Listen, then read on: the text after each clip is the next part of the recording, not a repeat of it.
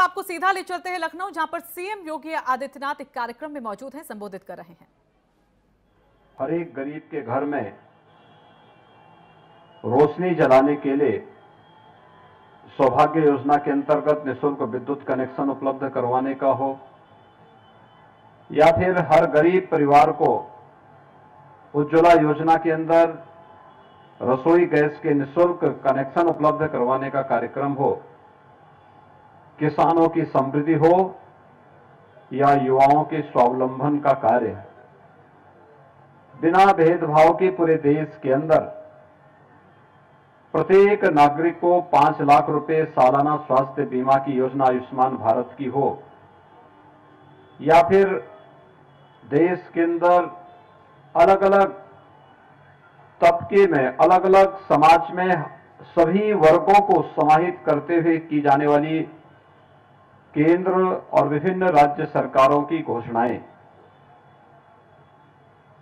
पंडित दीनदयाल उपाध्याय के अंत्योदय के उस संकल्प के साथ ही जुड़ती हुई दिखाई देती है। आज जब उनकी पुण्यतिथि के इस आयोजन में हम लखनऊ महानगर में जुड़े हैं, हम सबको इस बारे में ध्यान रखना होगा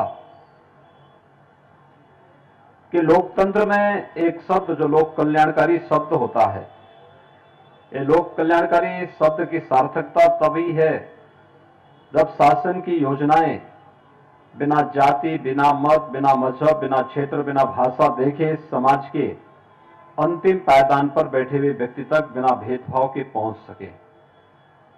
और ये बात 1950 और 1960 के दशक में पंडित दीनदयाल उपाध्याय जी ने भारतीय उनका ये दर्शन उस समय भी उतना ही प्रासंगिक दिखता था। जितना आज इसका महत्व भारतीय राजनीति में बना हुआ है।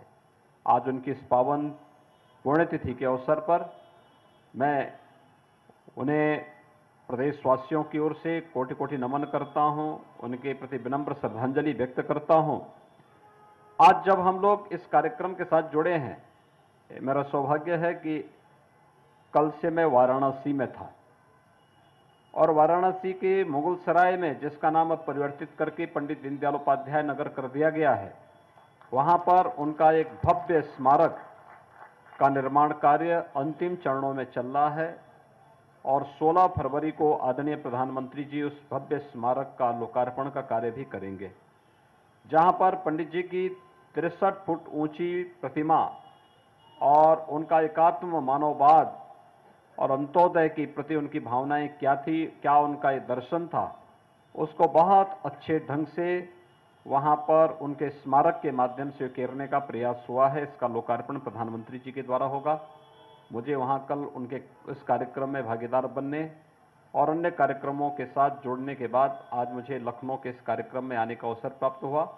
मैं पूरे प्रदेशवासियों की ओर से, पार्टी के प्रत्येक कार्यकर्ता की ओर से पंडित दीनदयाल उपाध्याय जी के चरणों में कोटि कोटि नमन करते हुए उन्हें विनम्र श्रद्धांजलि अर्पित करता हूँ और विश्वास व्यक्त करता हूँ कि भारतीय जनता पार्टी और प्रदेश का प्रत्येक नागरिक पंडित दीनदयाल उपाध्याय जी के संकल्पों के साथ जुड़ करके अपने लोक कल्याणकारी, गरीब कल्याणकारी और राष्ट्र कल्याणकारी योजनाओं के साथ अपने आप को जोड़ेगा। आप सबके प्रति मेरी शुभकामनाएँ। धन्यवाद। जय हिंद।